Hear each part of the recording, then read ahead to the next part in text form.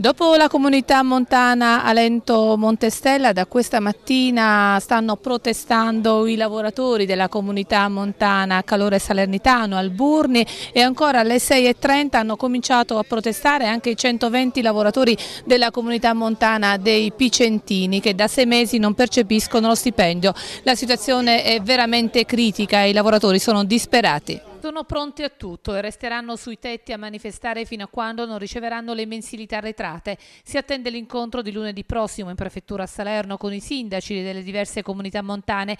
Decisiva potrebbe essere anche la convocazione a Napoli per l'11 ottobre, quando il presidente della regione Campania Stefano Caldoro riunirà i sindacati ed i presidenti delle sedi montane della regione Campania. In totale sono 5.000 forestali e 3.000 solo in provincia di Salerno. Lei ha famiglia? Certo, io ho quattro figli e un mutuo addosso e sono sei mesi che non, non percepiamo lo stipendio.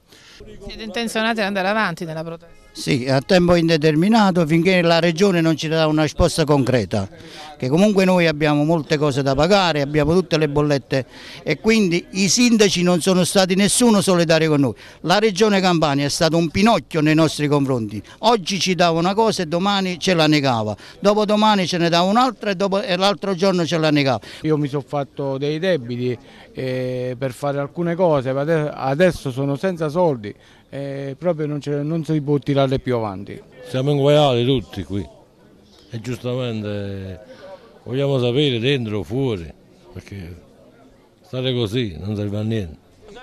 Io non ho tre figli ma ne ho nove e che alcuni vanno a scuola, non posso comprare libri, non posso fare abbonamenti. A, a, a scuola chiedono libri, eh, come, come fa? Noi siamo dei lavoratori, non siamo imprenditori che ci possiamo permettere di non percepire lo stipendio per sei mesi, sette mesi e non si sa quando ci pagheranno. Intanto il presidente della comunità montana dei Picentini Gerardo Marotta ha annunciato che se l'ente di Palazzo Santa Lucia non dovesse dare risposte concrete in merito alle risorse finanziarie delle comunità montane sarà costretto a consegnare le chiavi dell'ente al prefetto di Salerno.